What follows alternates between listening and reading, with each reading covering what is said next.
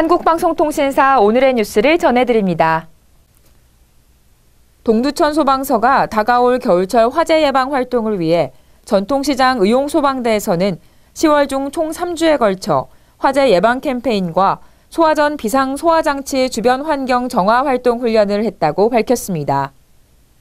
전통시장 남녀 혼성 의용소방대는 시장 내 소방차 진입 가능 통로 확보 및 주택용 소방시설 설치 홍보에 주력, 또한 시장 주변 소방전 위치 및 비상소화장치 사용법 훈련에 참여했습니다.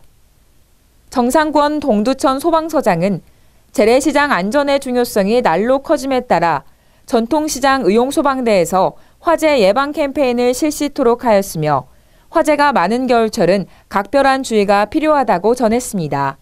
이상으로 한국방송통신사 뉴스였습니다.